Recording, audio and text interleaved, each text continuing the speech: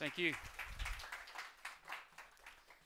All right, so first of all, a little bit about affiliations. So as Nelson said, I'm at Montana State University. We have uh, there the Extreme Gravity Institute. I'm the director of uh, the institute there.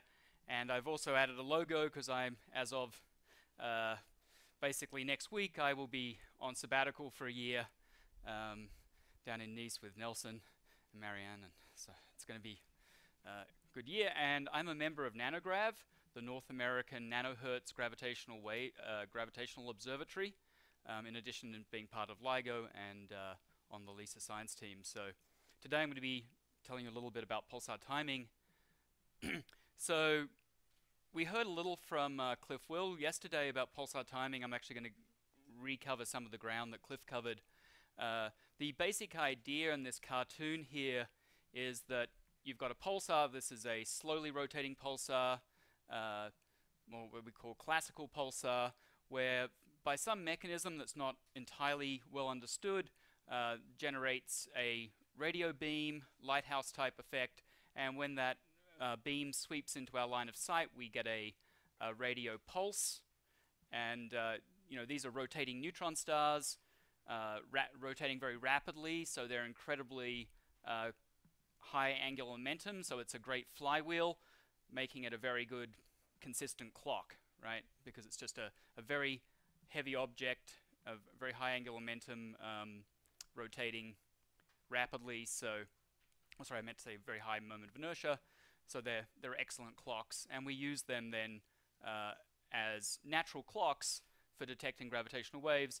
As Martin mentioned yesterday, if you had just fantastically good clocks, you wouldn't need lasers to do gravitational wave detection. And that's basically the principle by uh, that we have. And the nice thing is that the universe built this detector for us. So it came pre-made. it was, you know, uh, and it's uh, we have pulsars scattered throughout the galaxy that we use. Just to remind you of where this all fits in, you'll be hearing more today about the space detectors. You've heard a lot about the ground-based detectors, and here we are with pulsar timing down in the uh, nanohertz uh, frequency range. If you prefer to think in terms of periods, we're talking periods anywhere between sort of months up to many decades, right? so uh, patience is the name of the game in pulsar timing. When you're looking for something that has a period of four or five years, you have to accumulate several complete cycles to make any kind of a detection. So these have, these projects have a long history and uh, takes a long time to get there. The principal target in this region are going to be supermassive black hole binaries at the center of galaxies. so outline of what I'm going to cover today, talk a little bit about the history and the status and where we're going in pulsar timing, say a little bit about what they um, what pulsars are and why we focus on a particular subclass called millisecond pulsars. I'll go into a little bit about observing pulsars and uh, then into the timing model, how we can actually predict when the next pulse is going to arrive, and say something about the noise sources that uh, corrupt the measurements and make the analysis quite challenging. I've listed some resources. I'll be posting the slides so you can go and uh, check these out. Uh, I've taken various bits of material from re review articles listed here. There's also a paper, there's a, there's a software package called Tempo and Tempo 2 that is used to do a lot of the pulsar timing analysis and the uh, compendium paper that describes the timing model is, is a very nice resource if you want to understand uh, all the terms. I'm going to look, I'm going to put a few equations in today, but if you want all the details, you can find it in this paper. And if you really want to, yeah, Alberto's here. so uh, if you want to, uh, I'm going to talk a bit more about the data analysis and pulsar timing tomorrow. If you actually want to get involved, there's a very nice analysis suite that's been put together called Enterprise. And there's a, uh, Steve Taylor has made a video tutorial that you can watch and it takes you through, you know, how to, how to use this package and there's exercises you can find on GitHub where you can then actually, and all of these data sets are public, so you can actually download the data and do the analyses and and mess around it. And, and so these tutorials are great, and uh, Steve's video will get you going. So you can, uh, if you really want to get into this, there is a lot of resources being developed to help you uh, get started. all right, back to the beginning here. Uh, it all started back in 1967, uh, before I was born, when the uh, first millisecond pulsar, sorry, the first pulsar was detected. Here's the recording paper with the pulses, and uh, this is the first observation. and Jocelyn Bell here pictured in front of the, uh, I guess it must have been some kind of like a dipole array outside of Cambridge that uh, was with the um, first detection of pulsars.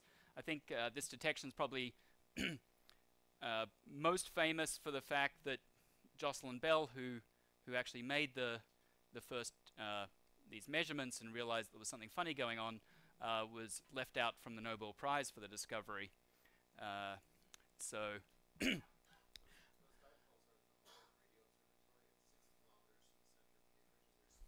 It's still there. Nice.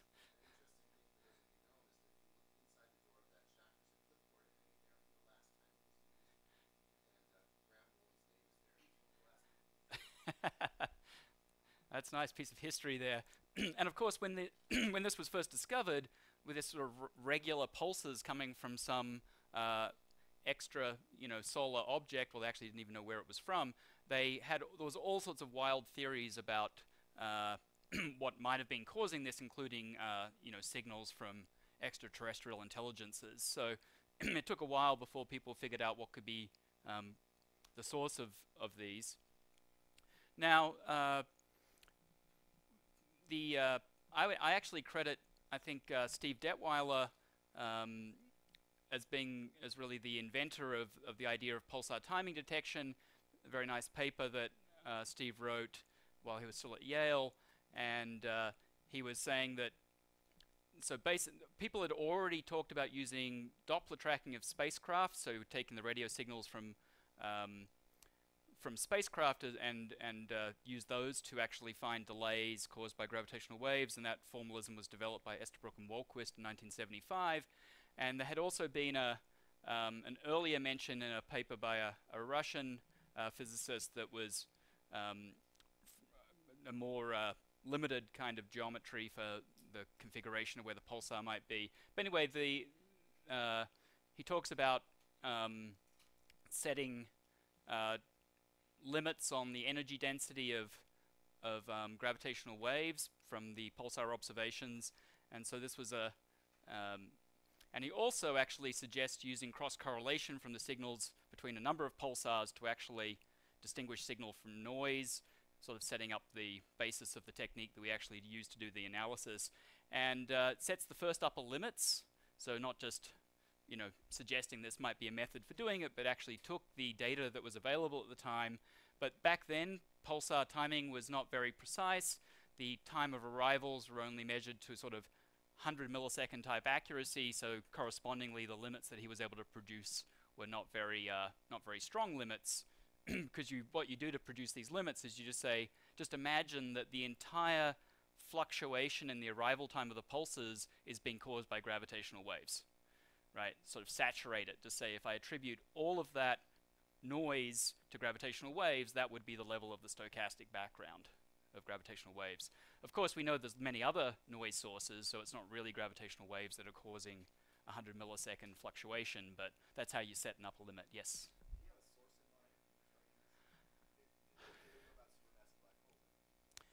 uh, I think he was thinking more cosmological, perhaps, but uh, you know, to be honest, it's a little while since I read the paper, so I forget. But I don't think he mentioned, to my, I don't know if anyone's read it more recently or has a better memory than I do, but I don't recall him mentioning supermassive black hole, like a background from supermassive black holes. But uh, it's a paper that's worth reading if you. Uh, so it would be good to find out what, what he actually was thinking about. I think it was more uh, more cosmological. Now, moving forward a little bit in time to 1982 uh, was the discovery of the first millisecond pulsar. So pre previous to that, pulsar periods had tended to be more in the sort of uh, second type range, and all of a sudden they had one that was rotating at an incredibly fast rate, um, with a period of 1.558 milliseconds, and uh, and this was this was very interesting because it was a entirely different. You know, how would you get a pulsar rotating this quickly? This was the situation at that time in 1982. These were the known pulsars at the time. You see, most of them were clustered around periods of roughly a second, down to maybe a tenth of a second. and here was that first detection of a millisecond pulsar. What we're looking at here is this is the pulsar period, and this is the log of the period derivative, right? So how rapidly the pulsar pulsar period is changing with time. Now they, I'll get more into this in a moment, but the pulse the pulsars are spinning down because they're, you know, emitting. Uh, well, they have these electromagnetic fields. They're driving winds, so they're spinning down. So their their periods are not fixed. They are they are changing with time. Anyway, I'll get a bit more into that later. This is the situation today. So more, I think there's now somewhere around 3,000 pulsars known um, in the galaxy, and we have now a collection of millisecond pulsars as well. And you notice that these millisecond pulsars have very low period derivatives, so their periods are changing very slowly with time. yes?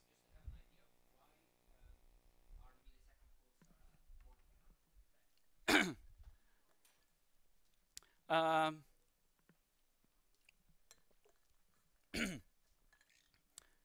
well, they're not these days. Um, I mean, there's, I guess there are a smaller subpopulation is is one of the things. Plus, you've got to be able to actually, uh, you know, might be some issue about just resolving the, that rapid period, right? Your analysis has to uh, account for that. I actually don't know exactly the answer about why they were so difficult to detect at first. Bruce, do you have a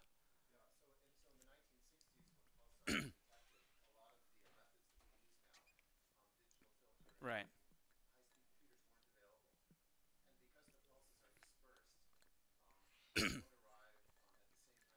right.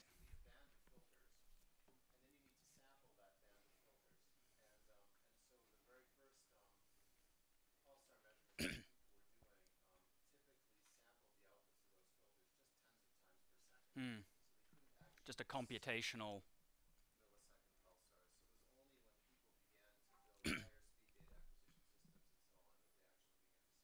Right. And actually, and I'll, I'll get to this as we go along, but that actually goes to a similar problem, uh, which is just showing you the, the role that higher power computing can, can play in science. Uh, binary pulsars, including the double pulsar that Cliff was talking about yesterday, to detect a, a double pulsar, you've got to actually solve you have to search over all possible binary orbits because you have to take out the binary motion to actually get the pulses to line up. And that becomes a very big computational problem because not because now you actually have to, when looking for the pulses, you have to also be trying out all possible orbital models, and it just was computationally too expensive to do, and it you know, as computing power got greater, that's actually, they'd already surveyed, for example, the region of the sky where the double pulsar was discovered had been observed many times before and they'd never actually detected it just because their data analysis wasn't up to it. It wasn't that it wasn't bright enough, it's just that they couldn't stack the pulses together and so it was a data analysis issue. So as Bruce was saying, I guess it was a data analysis issue back in the day that they weren't sampling, you know, a data acquisition, right. In the case of the, uh, the binary pulsar, it, the double pulsar, it's a, a data analysis, well, sort of acquisition too, because you need to well, it's more analysis because you have to fold the pulses with that model. yes?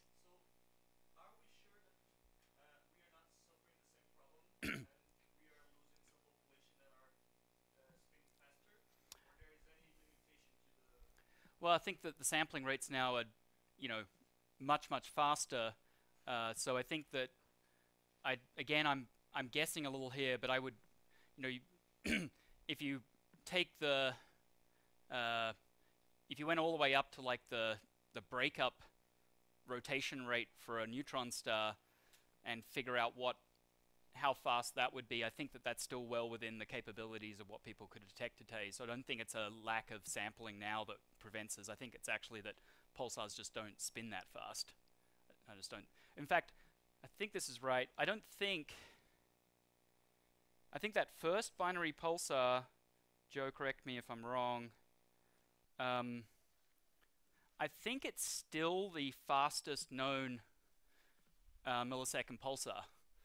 And we've not found anything spinning faster than that one so far. We probably will eventually, but so far it's the record holder. Which is kind of weird that the very first one was the fastest, but So there is new a new faster one?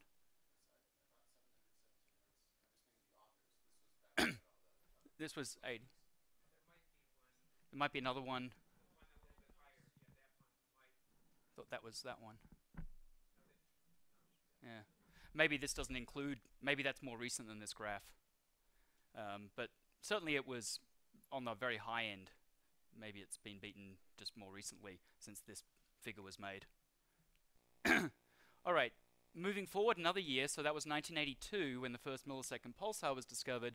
In 1983, Ron Hellings and I think it's George Downs um, at uh, at JPL wrote a paper that uh, calculated that if you have a gravitational wave signal or an isotropic stochastic um, background of gravitational waves, the each pulsar is going to get disturbed by the gravitational waves, and it makes sense that if two pulsars are almost at the same direction in the sky from you, they, their time delay should be very similar because they're in essentially getting the same, you know, seeing the same gravitational wave signal there. so the correlation, um, they're highly correlated if they're at zero separation, but then they actually calculated the correlation as a function of angle. You see it actually dips to negative and then goes back to positive again for 180 degrees, pulsars 180 degrees apart. And so this correlation pattern which is characteristic of, you know, it's caused by the quadrupole nature of the gravitational wave.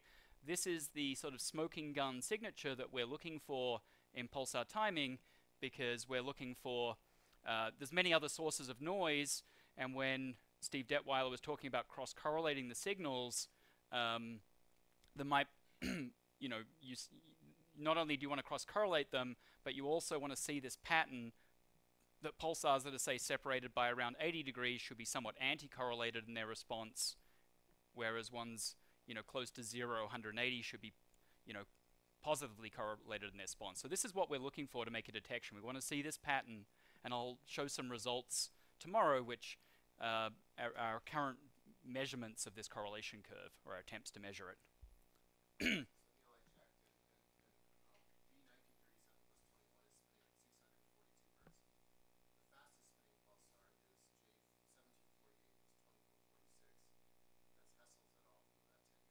Okay. Wow. That's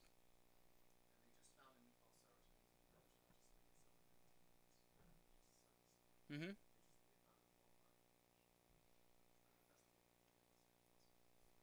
I guess, yeah, there's more signal down there, but a lot messier to do the analysis. Uh, so in addition to calculating this correlation pattern, uh, they used the, um, the classical pulsars, the more slowly spinning ones, to update the bounds on the energy density in gravitational waves.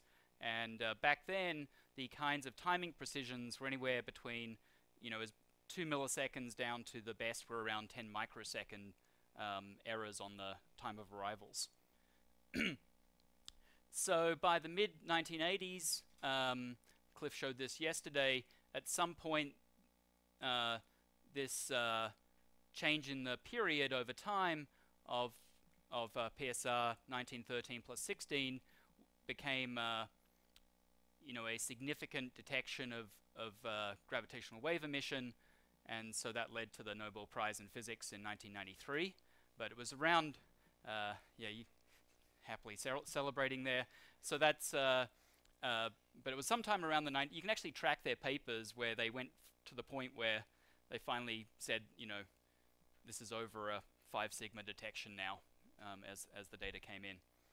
Uh, now, the proposal to actually build a pulsar timing array was, uh, as far as I know, first proposed in a paper in 1990 by Foster and Backer, and uh, talking about, you know, getting a big collection of pulsars and then uh, looking for these correlations. And that effort, um, then starting uh, around that time, some pulsar timing efforts were really starting to get going. If you look at uh, the history, and I, I don't have updated versions of these graphs because uh, they run out and around, this one runs out in 2010 and this one runs out in 2012 or 2014. But you see the um, timing accuracy of the pulses over time has been steadily improving and the number of pulsars, this is the International Pulsar Timing Array, um, the number that have, uh, are being used has been, have been discovered, has been steadily growing and so and here's the distribution of, of known pulsars in the Milky Way. And you see it's like a galactic scale detector. I think we're roughly here somewhere. Um, these are not all millisecond pulsars, but it's just all the pulsars. So the trend has been the the uh, the accuracy with which we can time these pulses pulsars has been getting better and better.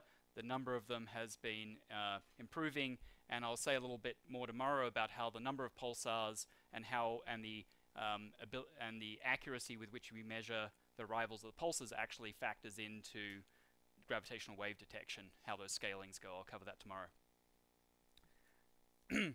uh, again, these slides are not fully updated, um, but uh, if you actually look at the bounds on the, um, this is just showing the early trajectory of how the bounds on the gravitational wave energy density went from the original Hellings and Downs paper and, and then um, down through, and you see the steady improvement. We're now down, I forget what number right now, but it's way down here somewhere, 10 to the minus 13, isn't it? Something like that. Um, and also we have predictions of, this is the amplitude from a stochastic background form, and I'll to say more about this from a, a population of supermassive black holes. This was an earlier prediction. I think this might have been from, I can't remember if this was from one of Alberto's papers or these predictions here, but uh, these predictions have since gone down a bit. So um, we keep on pushing, but we're starting to get into the regime where the measurements are getting close to what seems like a astrophysically reasonable uh, strength for the for the background. So we're getting in close to detection territory. Okay, a little about the International Pulsar Timing Array. Um, one of the early pioneering uh, efforts was out of Australia with the venerable uh, Parkes telescope. So this is the Parkes pulsar timing array.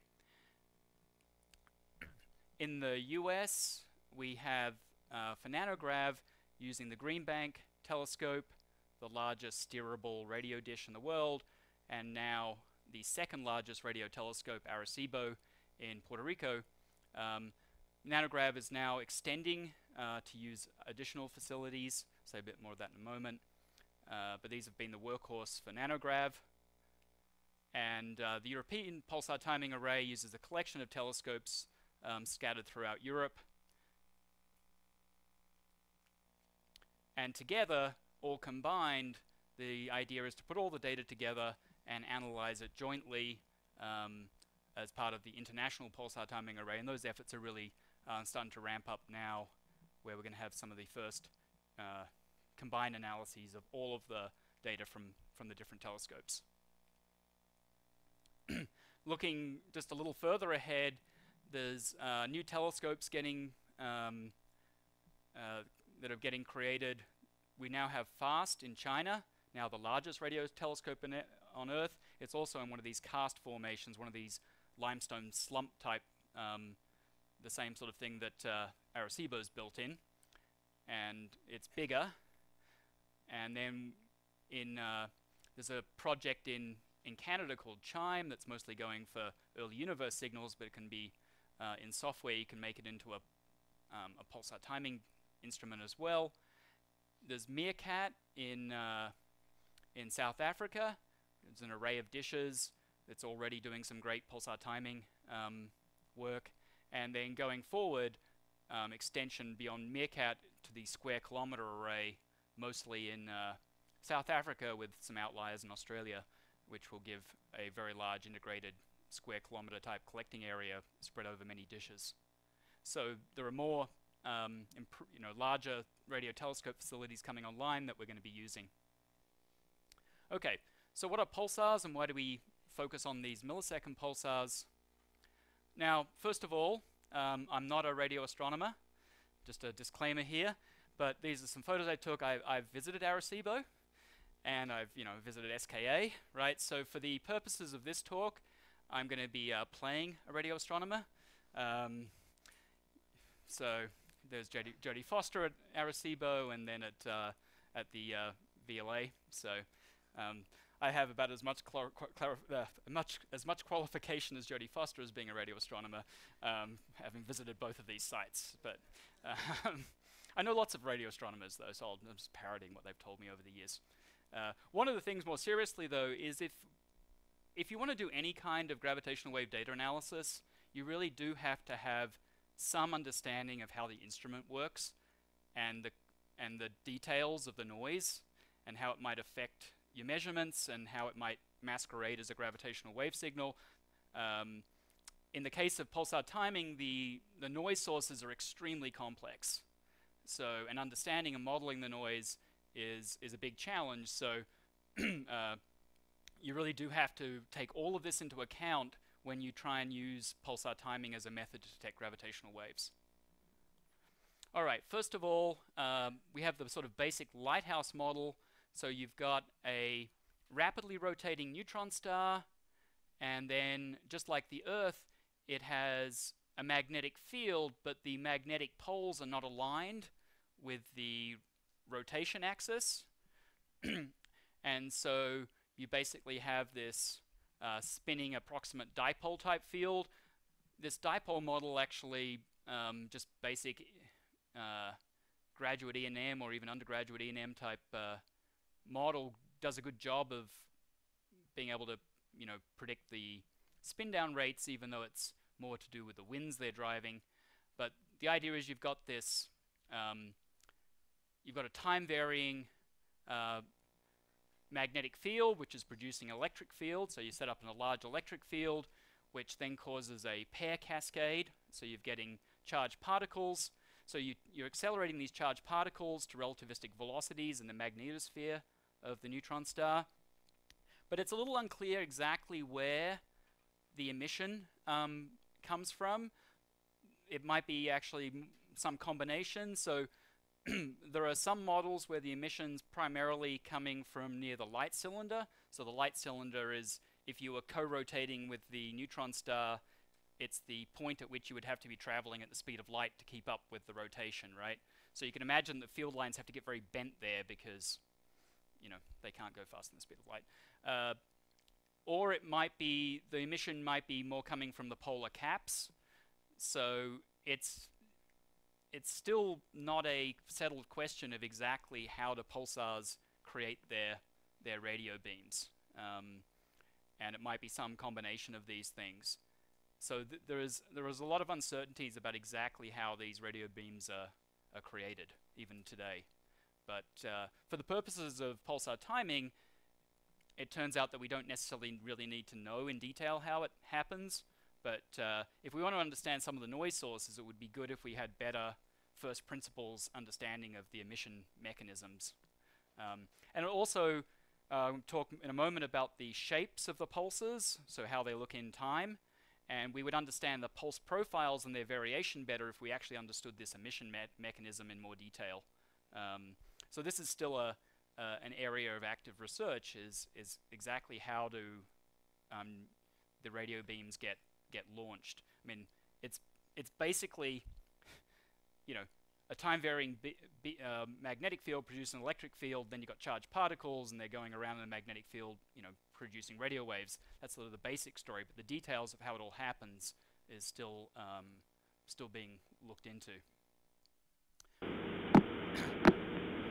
so this is a classical pulsar, PSR B03. That's their coordinates. and that's a, it's a bit loud. Uh, so you can hear it. This is basically taking the pulses and then playing them as sounds right as they come in, just the intensity. Uh, and here is the crab pulsar right in here. So this is a young pulsar because it's a supernova remnant, and uh, you know we know that it's it's not been there for very long. And you can hear it spinning much faster because it hasn't yet uh, spun down. um, it's still it's still spinning down. and here is a millisecond pulsar. This is uh, this is the zip code for this particular millisecond pulsar. That's, that's uh, the dot marks the location of the pulsar. it's moving this way through the interstellar medium. Um, the pulsar pulsars are formed in supernova explosions. They often get quite large kicks, so they can be zipping through the galaxy up to thousands of kilometers per second, right? So it's it's going along, and then you've got you know the um, this is a bow shock from from the uh, I guess you've got the magnetic fields of the pulsar going through the interstellar medium. So you've got this bow shock here where it's uh, going, you know, plowing through the interstellar medium. And I forgot to update this one, um, but this one's buzzing away. Whoops, went too far, sorry. Come back. I've got pulses coming in. Come on. Why isn't that going back? Ah, here we go. All right. so this pulsar is... I keep on hitting the wrong buttons. Sorry. Go back.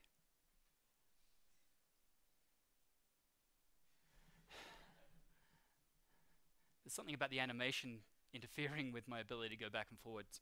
All right. okay, so it's um, billions, it's 4.8 billion billion meters from the Earth, roughly. And for over a decade now, we've been tracking the distance, not the absolute distance, but the um, relative distance, or the change in the distance, to an accuracy of 30 meters, so about the size of one of the uh, trees out here, right? So we know the distance from the Earth to this pulsar to about this accuracy. Now, it's not as good as LIGO measuring, you know, the distance between the mirrors to, um, you know, fractions of the width of a proton, but uh, it is a lot further away. So it's a good fractional measurement, and the gravitational waves get much stronger at low frequencies. So this is the kind of this sort of accuracy is um, what we need for detecting gravitational waves. So we're looking for variations between the distance in the Earth and this pulsar, you know, of order tens of meters caused by the gravitational waves. Um, now, the remarkable thing is uh, we only we, we don't have enough radio telescopes, and enough time on the radio telescopes to observe these pulsars continuously. We don't even have enough to observe them every day. We can only observe them, say, every we try and observe them currently roughly every week or every couple of weeks, go back to a pulsar. But to do the gravitational wave detection, you actually need the complete phase-connected collection of pulses, right? You, you can't just... Um, but with this pulsar timing model I'm going to tell you about, um, so in two weeks, this particular pulsar will have completed this huge number of revolutions, right? But we know exactly which one it's on when we restart the observation so we can tag that next pulse coming in you know coherently and connect it so you've got this um, stream of pulses and even though you don't observe it for all time you can actually put it and and you can fill in everything that you missed right? Uh, what it costs you is signal to noise. If we could observe it constantly we'd have um, uh, you know much lower timing errors because you'd have more data connect collected, but we know exactly which one is like the 210 millionth pulse, which is incredible. And as Cliff mentioned yesterday, um, you can come back to these things years later and still tag the pulses, um, which one's which. Now, that accuracy for this particular pulsar, a single um, standard atomic clock, this one actually has about the same um, timing accuracy as a basic atomic clock. There are better atomic clocks, but the kind of basic atomic clocks that are currently set the time standard, actually, this, this pulsar is about as good as a, a standard atomic clock. Yes? For this one, um, well, this is changing very slowly because it's a recycled one. We have the, you can do the math on those period derivatives I gave you, right? So the, the rate of change of the period per time, and uh, it's very, you know, it's, it's very small changes. Uh, that was, I think in the units I had, was what, 10 to the minus 20 um, seconds per second sort of thing, right? Yes, that's right. and in fact, uh, I mean, there are better individual atomic clocks these days, but if you've been, you know, out to like NIST or something, they have like a, a room full of atomic clocks, and it's the average of all of those atomic clocks that actually define the time standard, because, you know, they do a root n kind of beating down of the errors in any one of the clocks. Um, plus, if anyone starts to drift off, they kind of throw that one out. Right, so back to the pulsar demographics here, and here's the numbers for you again. I actually I took the uh, I took the units off. Um, so we've got the slow, slowly slowing ones here, and the rapidly slowing. So these are the younger pulsars, like the crab. Um, but these are relatively slow spinning, and these are fast spinning. So how did they get from being slow spinning to fast spinning, and why are they slowly slowing? All right. So here's just a few of those that I showed you. There's the crab. There's there's the other one that I showed you. That's in the camel constellation, and this is uh, the that millisecond pulsar right there. That's one of the best timers, and we see where they sit. So these are the ones we use for gravitational wave detection. And the idea is, and the model that is that these are recycled pulsars. So they've actually accreted material off a companion, and in that accretion, they've actually spun them up. That ma accreted material also buries the magnetic field, and that's why they then uh, they have lower magnetic fields. I guess that also makes them somewhat less bright, but they that also reduces their spin down rate. Yes.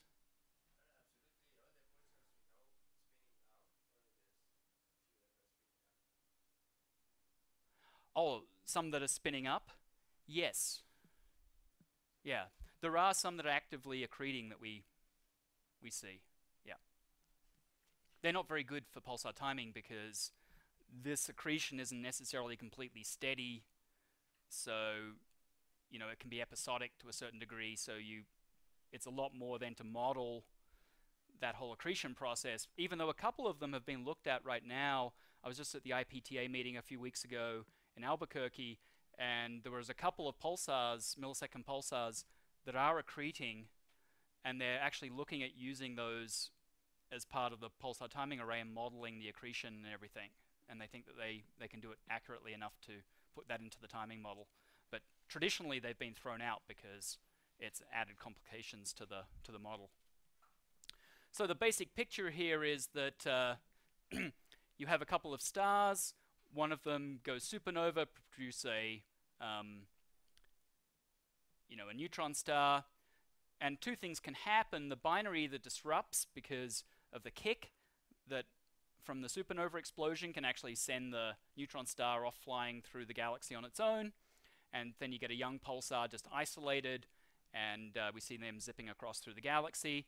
Uh, or the binary survives. Now, the evolution of the star, and, and that can actually um, undergo this Roche-lobe overflow, and then you get a uh, X-ray binary, and that's when the you, you, know the spinning up's happening. If this star is sufficiently um, heavy, then it also can undergo a supernova explosion. So we go off on this track. If it's um, if it's smaller, then we might end up with say a white dwarf, right? So lower mass systems, you end up with a uh, millisecond pulsar white dwarf binary, and there's plenty of those known high mass systems, you get eventually another supernova. It either disrupts, then you get what's known as a mildly recycled pulsar. These tend to be not spinning quite so fast, um, or they survive as a binary, and then you end up with a double neutron star binary like that. So those are the, um, the sort of evolution pathways. And it's these here, these recycled pulsars that we actually use in gravitational wave detection. Um, about two thirds of the millisecond pulsars that we use are in binary systems, either binaries with white dwarfs or other neutron stars, and that's consistent with the spin-up idea. What's interesting is some of them, uh, some of these millisecond pulsars are actually what are known as black widows, and they have very low mass companions, almost down to zero mass, because the pulsar winds are actually just ablating the companion, destroying the companion star, and just until poof, it's gone, right? So it actually blows away the the low mass star that it's orbiting around until it's sort of gone. Um, so some of them can eventually become isolated just by completely destroying their companion. Uh, and that's based on the idea that black widow spiders, they eat their mates um, when they're done with them. okay, now a little bit about observing um, pulsars and how it's done. So this simplified diagram, we have the telescope, the receiver, these are cooled receivers. Um, there's this, uh, I'll talk a bit about this dedispersion, and then there's this online folding that occurs, and then you have a reference clock, and then you actually measure, um, you have a the pulse profile, and you pick some point, well, you, you match this to a template, and then you measure the times of arrival, and I'm going to go through this a little bit. So you're basically trying to tag when each pulse arrives, but it's a lot more complicated than this simple diagram suggests. First of all, here is showing you, here's time along this axis in milliseconds, and here's pulse number. So this was one pulse, here's the next pulse, here's the next pulse. So this is just each different pulse. And you notice that they don't look very similar, right? So this is each individual pulse. Now, how do I time something when every every pulse is kind of different? Like, where do I center on, right? How do I actually decide which parts, you know, do I line it up with this thing? Well, no, because it's not there on on the next one, right? So this is the actual data looks like this. and so what's done is, and this is a little movie, um, essentially what it's showing you is not this pulsar, but another one like it. It's taking these and it's going to add up pulse after pulse. So this is an average over, say, tens of minutes. It should be a little movie. You can see that they add them up, add them up, and as you add it up, you get the average profile starts to get defined here. And actually, that's what we do each time, is we observe a, a given pulsar for about 10 minutes, half an hour, and then stack all the pulses together. And the stacked profile, which is this is the stacked profile for this particular pulsar, these are actually really quite consistent over time. So the average profile averaged over stacking thousands or you know millions of them is actually quite a stable reference and then that's what we actually tag as we line up from that half an hour set of observations we line up this template with that and that actually gives us the time of arrival of that yes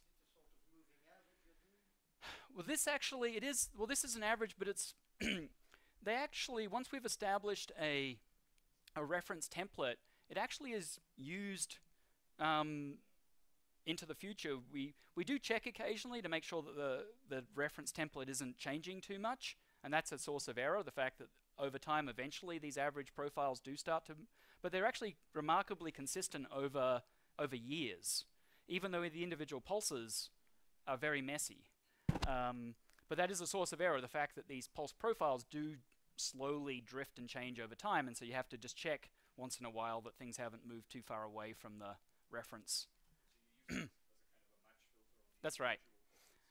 That's an, there's a new method that's being looked at, which is um, a Bayesian timing approach that uh, uh, Lindley Lentati's been developing, where um, the the timing's going to be done on individual pulses, uh, rather than like defining a a stacked, but it's essentially stacking in a way because it's using a whole collection of them and sort of doing a fit to it, but in a Bayesian fashion rather this is a, a chi-squared type analysis, but it's just moving it over to a, so maximum likelihood it's essentially doing a Bayesian version, but using the individual pulses, which effectively stacks them as well.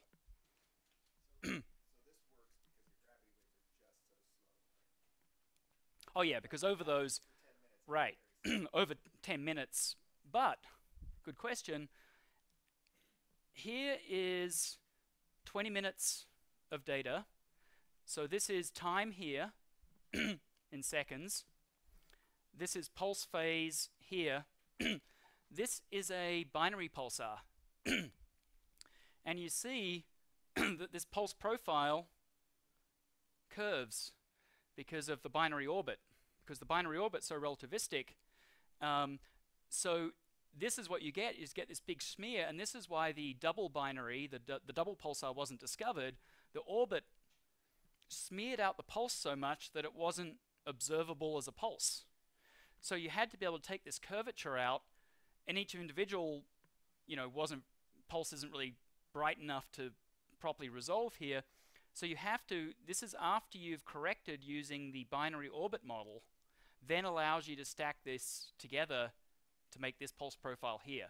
So for the very rapid binaries, you actually have to use the um, binary orbit model before you can create your stacked um, pulse. Here's an example of uh, 20 um, pulse profile templates that are used by the Parkes pulsar timing array for these different pulsars here, and you see um, that these profiles are all pretty different. So different pulsars all have quite different um, pulse templates, and some are better than others for pulsar timing. For example, if you have a pulse profile that looks like this, this is great for timing because it's a very, you know, clean shape, whereas if something sort of broader, it's not quite so good. Um, so you really want nice sharp features in your pulse profile for as well. So there's a lot of lot of uh, you know, a lot of variation in what we see for the pulse profiles. And these are different radio frequencies, 10 centimeter, 20 centimeter. Okay. So the basic idea um, for pulsar timing as a gravitational wave detector is if you have a gravitational wave, changing the uh, photon path length between the, so then it arrives more, you know, arrives earlier or it arrives a little later because the pulsar's, you know, this path length is changing. That's the basic idea, so that's good. except there's some complications um, which we have to take into account in the timing model. So some of the complications are that the a, a good fraction, about two-thirds of these pulsars are in orbits around some companion, maybe another pulse, maybe another neutron star or a main sequence star or a white dwarf. then the Earth um, is orbiting around the Sun, so you've got to take that into account. And uh, also the radio waves are propagating through the interstellar medium, and so you get dispersion. The higher frequency um, radio waves arrive earlier than the low frequency radio waves, and you have to also account for that. Plus, there's all sorts of scattering that happens to the radio signals. Um, so there's many different effects that you have to take into account. I'm going to go through some of these. Uh, and in fact, the combination of all of them is really, uh, you could do an entire class on relativity just on pulsar timing because it has everything in it, really. It's, it's got, it's a very rich collection of uh, relativistic effects that that come in, uh, especially at this binary orbit, it's not, not the Earth around the Sun so much. All right, so I'm going to break it down here. We have the observed arrival time, and it has many different contributions. First of all, there's the emission time at the pulsar of that pulse. then there's a collection of terms that go into barycentering the signal. So the solar barycenter, center of mass of the solar system, we, since the Earth's moving around the sun, and because the Earth rotates, the arrival time at a particular radio telescope isn't that informative. We have to map that to a sort of more fixed reference, which is the center of the solar system, right? so you have to barycenter your signal. You've got all these delays because of propagation uh, through the interstellar medium. ISM is interstellar medium. and then you've got all of the um, corrections, all of the uh, timing delays due to the pulsar orbit and various relativistic effects, gravitational uh, time delays and Shapiro time delays, that sort of thing.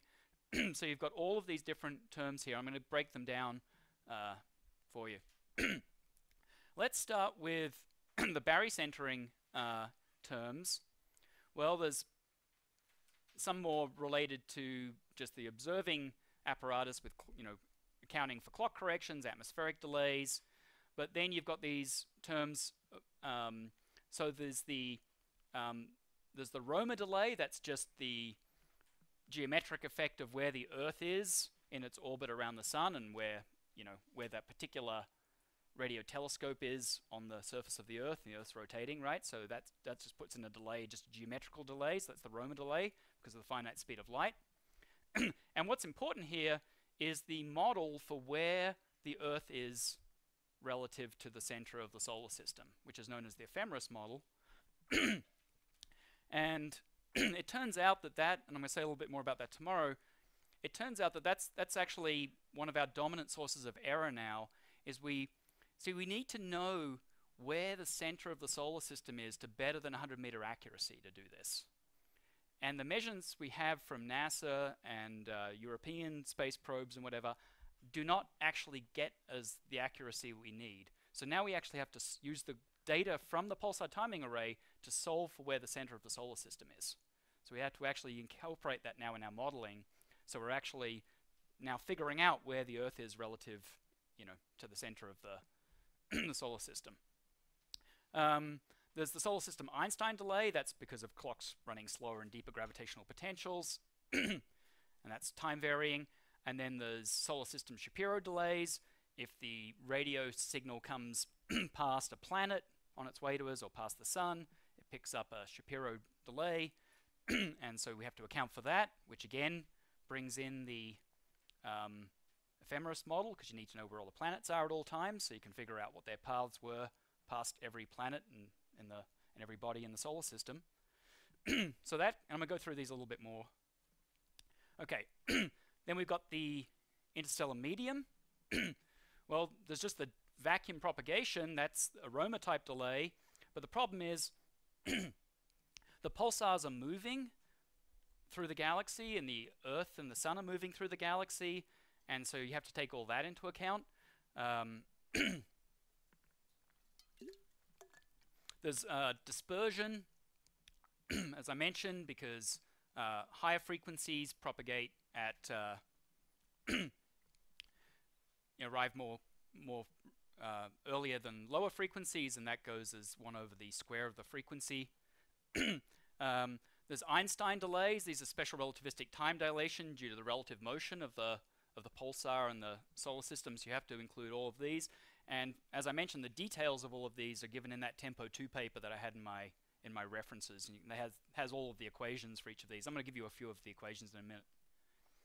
And then there's the pulsar frame corrections, which is basically barycenting the, the pulsar relative to the, you know, it's or, if it's in an orbit, you have to reference the pulsar back to the center of mass of the system it's in.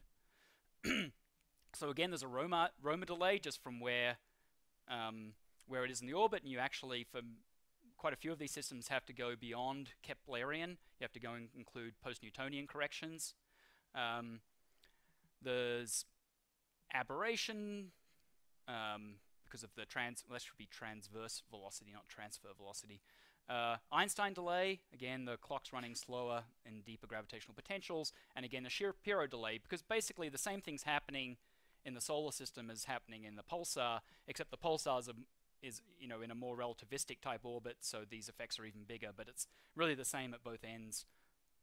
Um, both both the emitter and the receiver in orbit around things. and then we've also got the emission time of the pulsar. The intrinsic period uh, is changing with time um, because this pulsar is spinning down, and so you can uh, it because it's slow, you can Taylor expand it. So you've got the reference period first derivative, second derivative, and you have to include that. And that uh, usually you don't have to go up to third derivatives, just up to second sufficient. All right, if you get the period wrong, this is what your timing residuals look like over, you just get a linear, that's when this was a case where the period in your model was actually greater than the true period, so you don't, you end up with an overall um, slope.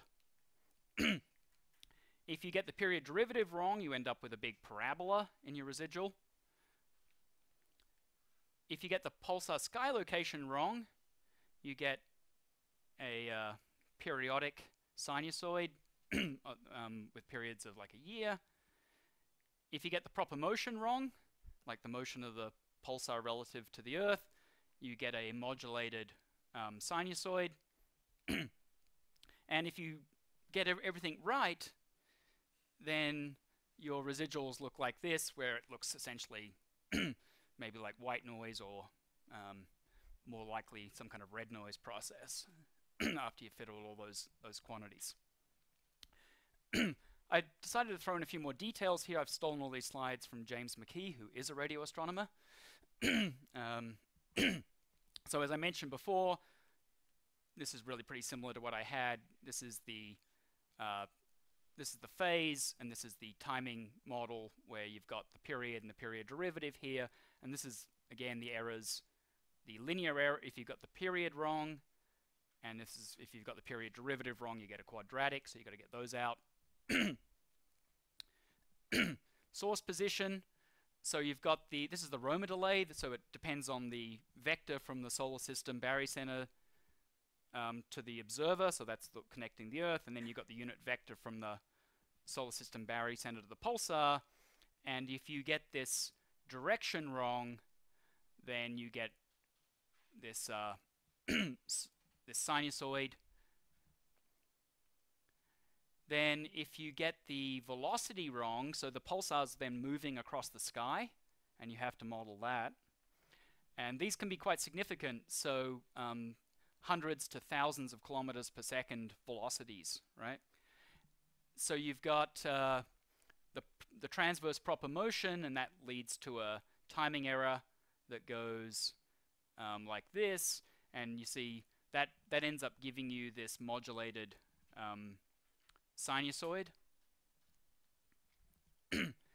and then uh, for some pulsars, they're sufficiently close to the Earth that as you observe, say, from June to December, you actually get a parallax, and the wavefronts um, uh, arrive differently here than here, and you have to allow for this parallax, and if you don't, that leads to another error. But this is actually a good effect. This actually allows you to measure the distance to the pulsar. Um, so this is useful, gives you the distance to the pulsar, which is useful information. And in fact, for some pulsars, the distances are known really quite well. And uh, as I'll mention tomorrow, that's quite important for some of the gravitational wave analyses. So this is actually, it's a nuisance, but it's a, it's a, it's a useful uh, thing here because it includes the distance to the pulsar, so it gives you interesting information. uh, Cliff went over this yesterday. Uh, you've got the all the parameters associated with the orbit. Um, so just for Keplerian orbits, you have all of the usual um, quantities that describe a Keplerian orbit. This isn't even getting into the relativistic pieces that correct this. And so you have to include all of those in your fit. So Again, this is sort of a nuisance because you have to include in your fit, but then you learn lots of things, right? You get the masses of the of the systems, you get the orbital geometry, you get the eccentricity, so you learn a lot from this, and then you can start doing uh, tests of general relativity as well when you go beyond just this Keplerian model. So this is all good stuff, but you have to fit for all of these parameters for every system. So if you get these parameters wrong, they lead to various, very uh, your, your timing residuals have these clear um, sinusoids and things in them. And for example, this is the the Romer delay just through because of the orbit. then you've got other relativistic effects I was mentioning. So there's the Einstein delay, um, which comes from the uh, the relative change um, because you've got the redshift because of the masses, and so you've got to Again, this tells you a lot about the system, these various combinations of the masses. And you get a sinusoid in your signal again. then you've got things like the aberration delay. Because the, they have high orbital velocities, you get um, the pulsar beam gets distorted by that, and so you've got to take that into account. and then you can actually measure these parameters, which um, give you other ways to get at these um, orbital parameters. Then you've also got to take into account that some of these systems are sufficiently relativistic that you're getting the um, you have to take into account the fact that the period of the system's changing due to gravitational wave emission. That has to be included wh while still, you know, so this is the crazy thing. You're trying to use these systems as a gravitational wave detector, but to do that, they're emitting gravitational waves, so you have to model the emission of gravitational waves by your detector before you can use the, uh, the signals you've received to then look for other gravitational waves caused by something else, right? So when your gravitational wave detector is emitting gravitational waves, it's that's that's and look at like all of these different effects. It's just a huge amount of special and general relativity going on in here. So uh, everything you learned in your general relativity and special relativity classes gets put to use here. uh, another relativistic effect, or 1pn effect, is the um, these systems are sufficiently uh, relativistic that they get they have quite large periastron advances, um, and so you have to model the periastron advance. So here we've got an example where the orbital plane, of course you remember for, for Mercury on the Sun, it's this tiny periastron advance, right?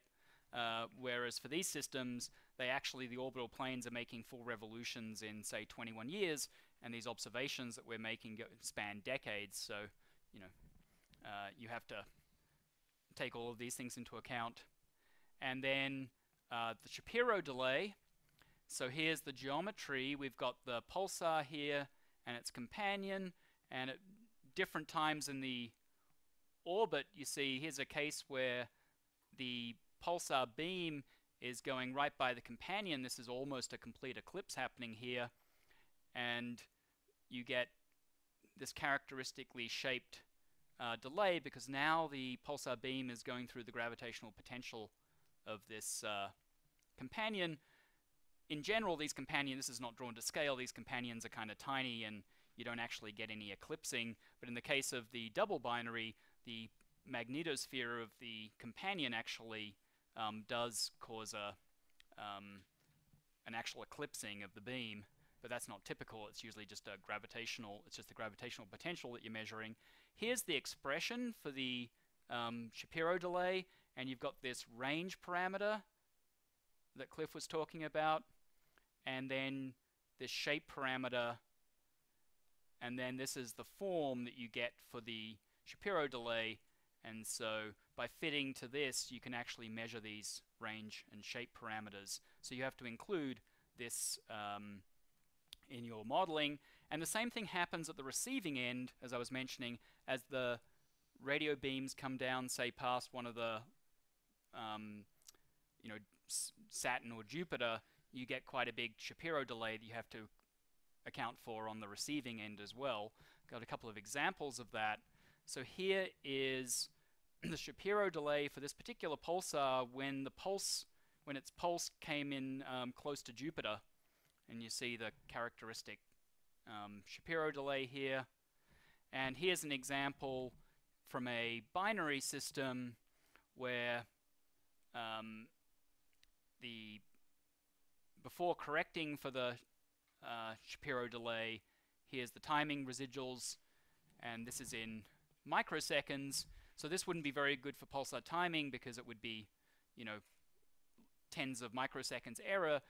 Um, but once you correctly account for the um, Shapiro delay, then this becomes, I think the scale must have changed here, uh, or change from here to here. And you see that we've completely taken that out. And we now have a nice timer. There was an example a couple of years ago in the nanograv data set where there was a pulsar that a millisecond pulsar we'd been looking at using and had never been included in any of the analyses because its timing residuals were pretty crummy. And then people kept on observing it though just in case it might uh, we might be able to get a solution that was better, and it was found that it was actually in a binary, initially it hadn't been um, seen that it was in a binary, and then once the Shapiro delay was taken out, it was a really very excellent timer, and is one of the good pulsars that we're using now. But at first we couldn't quite, it wasn't nearly as distinct as this one, um, so it was just sort of messing up, creating noise in the measurement. But once we then were able to fit for the Shapiro delay, it's now one of our better timers. So um, these effects can take a little while to resolve. okay. uh, so here is a plot showing the pulse phase in periods, so from 0 to 1, but as a function of the radio frequency. And notice that um, the arrival time of this peak here is dependent on the frequency, so um, in fact it's on this, it's completely wrapped. So if you, what we want to do is we want to collect, if we only observed a pulsar in a very narrow band of frequencies, then this wouldn't be such a problem. But we want to stack together as much power as we can, so we want to actually observe over very wide radio bands. But if you want to combine the data across, you need to actually take out this um, this dispersion so that you can then all stack the pulses. This is similar to what I showed earlier where it was actually the uh, at a single frequency the way that the a binary caused the pulses to you know move around in uh, in time. Here we actually have them moving around in frequency and so to stack it we actually have to take this out. So you actually have to solve for this quantity d which is the dispersion measure it depends on the distance to the pulsar and the column density of electrons along the line of sight to that pulsar, right? And so we use this as a proxy for distance when we don't have parallax measurements. and so what, what is actually done now is essentially using GPUs, like in a PlayStation, um, th that uh, it used to be that we did narrowband timing. So this is the frequency range in gigahertz, and so this was at uh, um, Arecibo, I guess. Puppy, yeah. Uh, Puerto Rico. So, yeah. And then we switched to wideband receivers, so now covering a much larger range. And if you look at it, there's the there's the radio pulse signal if you only observe this pulsar in this little tiny narrow band. If you observe over this wide band, you now pick up way more signal, right? But you've got this big curvature to the path, but you have to take that out. you can't record the data that, um, and send it away for analysis. You have to do this on the fly because it's just way the data rate's way too high, right? It's like terabytes per second sort of thing. So you you actually have to do the de-dispersion, removing that curvature um, on site as you're taking the data for each pulse, right? So that's happening this is done with these this, these GPUs, and this is de-dispersed. And you see that when we went from narrowband timing, these were the red. Um, uh, these are the error bars on the arrivals using the narrowband, and now you see with the wideband, um, it has significantly reduced the measurement errors because we're now grabbing so much signal, but we can only do that because of an increase in computing power we wouldn't have been able to use this wideband information because we couldn't have de-dispersed it without using GPUs. So it's another example of, and this is actually more similar to what Bruce was talking about back when, when we couldn't actually record at a high enough cadence. Here we couldn't have um, recorded with this kind of bandwidth and de-dispersed it without using. And so there's a bank of GPUs right on site at, uh, if you go to Arecibo, and there's a similar one at Greenbank, and it's sort of essentially part of the instrument, right? Because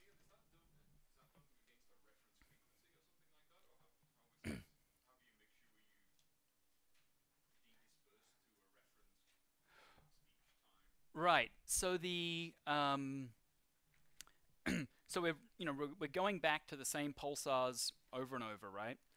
There's a dispersion measure that's known for that pulsar, it does change with time. and I'll get to that in a second. But it's pretty com. But you know, essentially, there's space weather.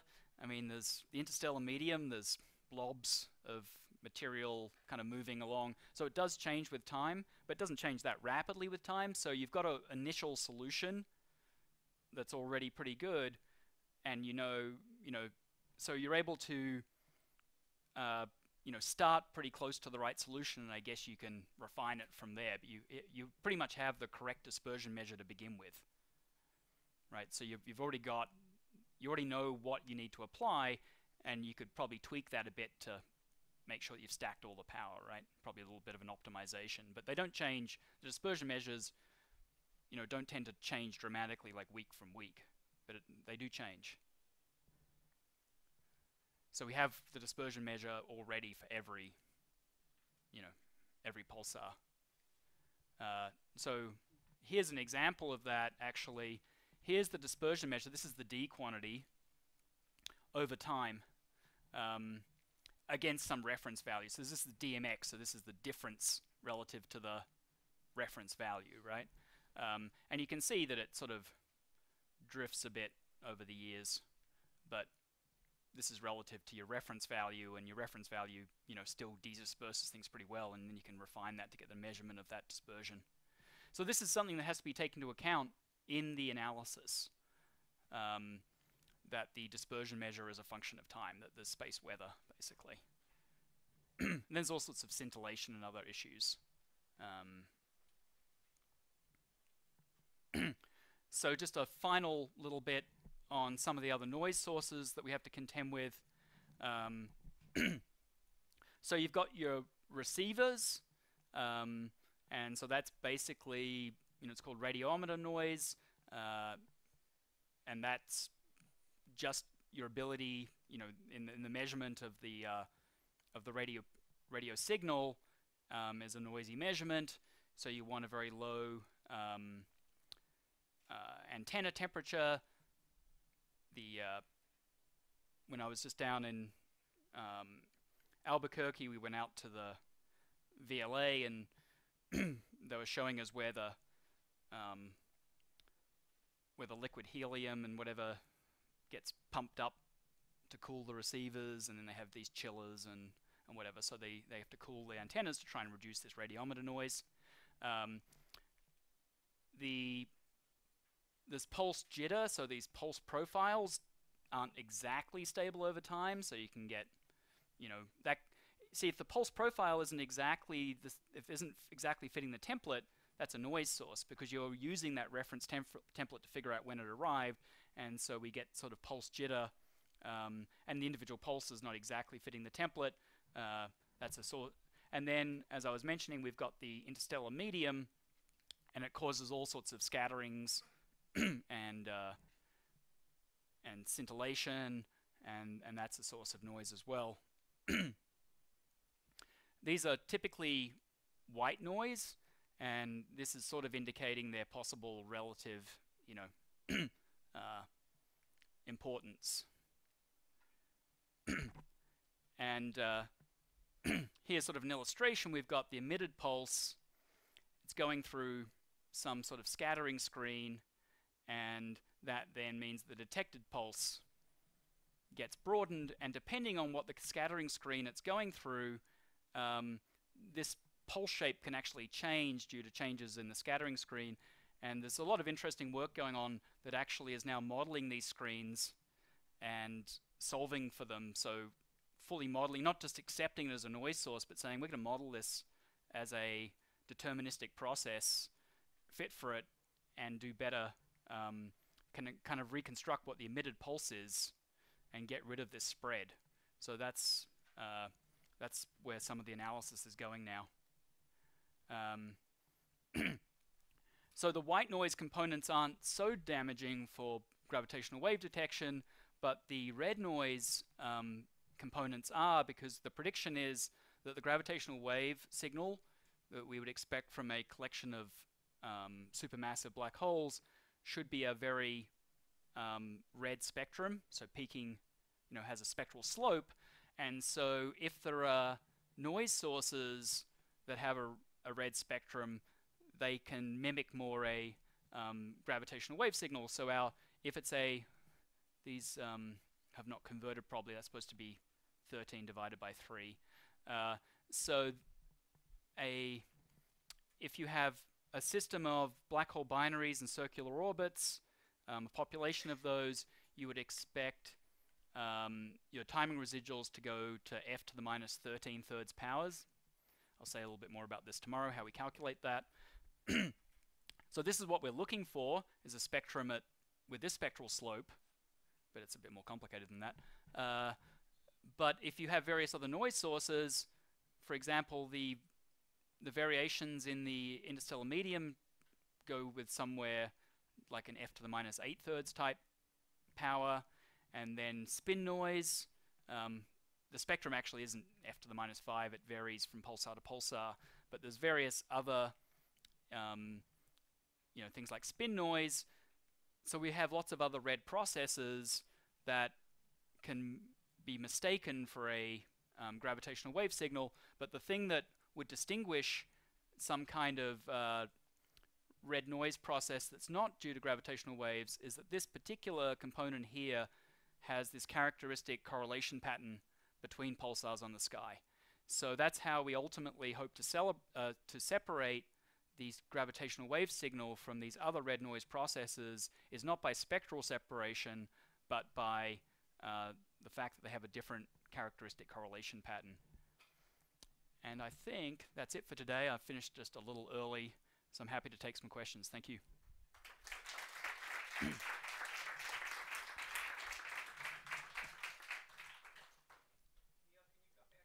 mm. Yeah.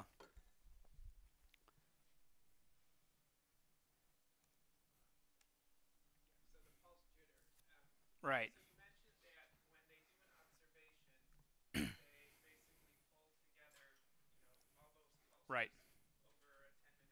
Yep. Uh,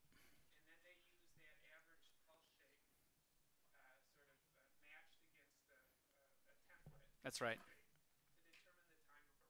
Right. But where is the time of arrival? Is it at the start of the observing, the middle? How, how does that correspond to this 200 right. pulse? Do you, do you know how that works? Nope. Um, you're right. There has to be a um, because you've had to stack them. You've got thousands and thousands in there, right, or millions in there. Uh, I mean, I guess you could. I mean, if you took it at the, say, at the center of the observation time, then you're you're referencing that particular pulse. I don't know if Alberto knows the answer, um, but yes, since each one essentially you know, is tagged, there, still has to be a reference as to where your um,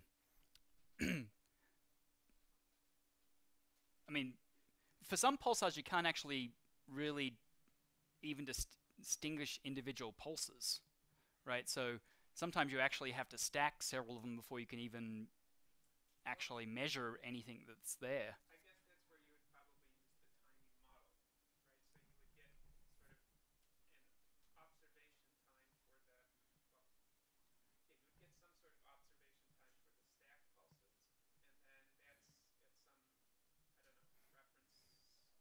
Time. Right.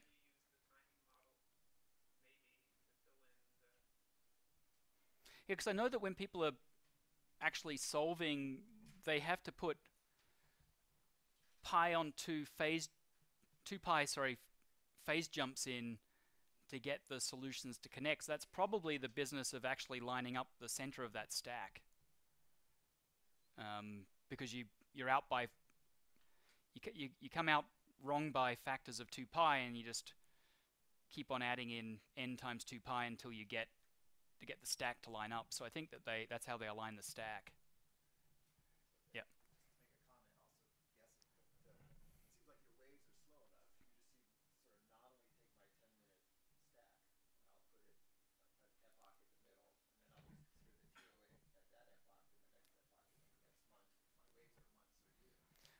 Yeah, but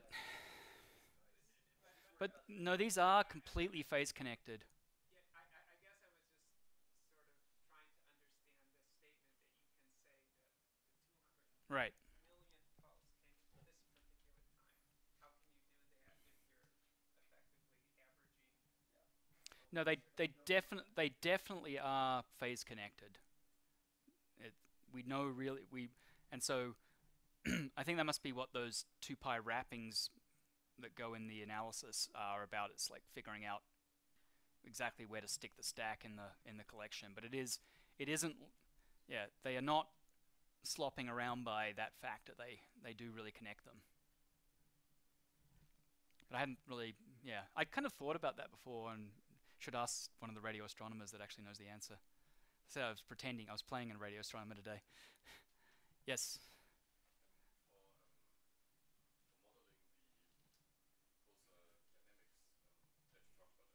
Right.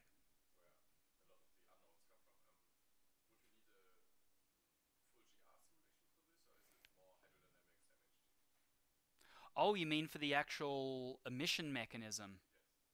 Uh, well, there's relativistic effects obviously happening there because, but I, you know, it's I would I would think you can get away with a.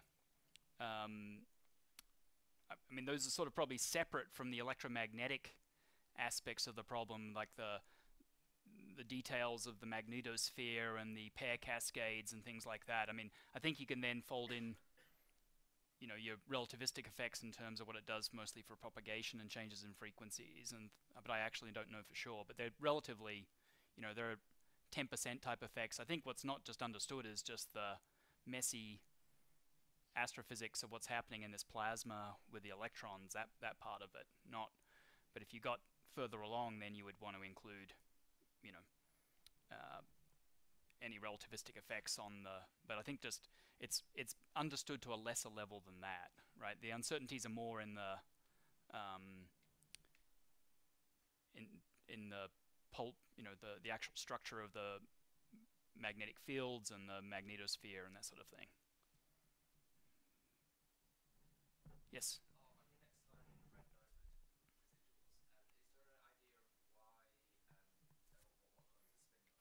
There are some ideas about the spin noise. Um, people have some models. I don't. I again, I'm not not an expert on any of this part of it. Uh, if you know something about um, pulsars, they're pretty incredible in terms of their.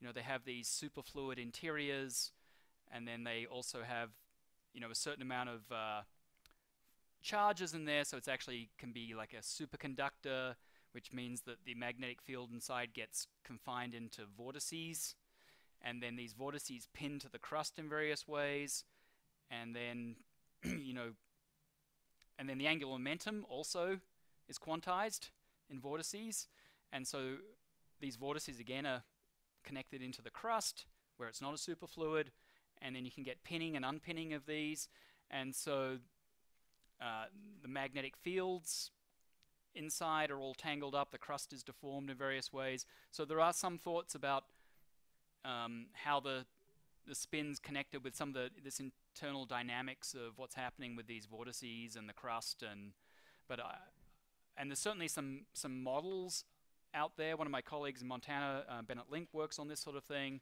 I've heard, heard him give lots of talks. He seems to have different models um, each time he gives a talk, but uh, it's people are definitely looking at what might be causing some of this spin noise, but uh, I don't think it's again it's not it's not fully understood why the spin noise. This is separate from just the you know the slowing down. It's like why does it jitter around a bit, right? Um, and I should say that for the millisecond pulsars, they're much more stable and much less noisy than a classical pulsar. Classical pulsars have really significant spin noise and it's actually very difficult to measure the spin noise in a lot of these millisecond pulsars. We're not even sure if some of them even show any spin noise. There are some that have been observed for a very, very long time. I forget the name of it. There was one particular pulsar that the Parkes um, pulsar timing array sees down in the southern hemisphere that we don't have uh, uh, for like nanograv or EPTA. And it had been the best timer, and it was the one that was driving the bounds that we could set on the um, that they were setting on the gravitational wave background. but more recently, it's now showing signs of like intrinsic red noise, like spin noise, but it didn't for like 20 years. But it was just that you couldn't resolve it until you collected data for so long. So for some of them, they're starting to show some signs of spin noise. It's much more evident in the classical pulsars, the more slowly spinning ones, but it might not be the same, right? Because they're so different. Their magnetic fields are, configurations are so different. So if you understood spin noise in a classical pulsar, it doesn't mean that you necessarily understand it for a millisecond pulsar.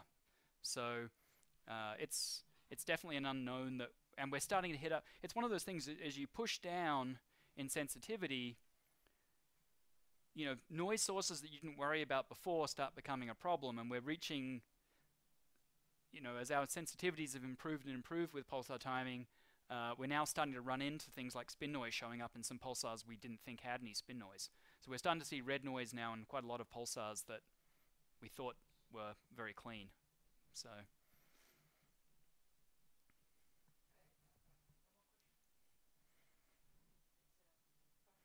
All right, thank you.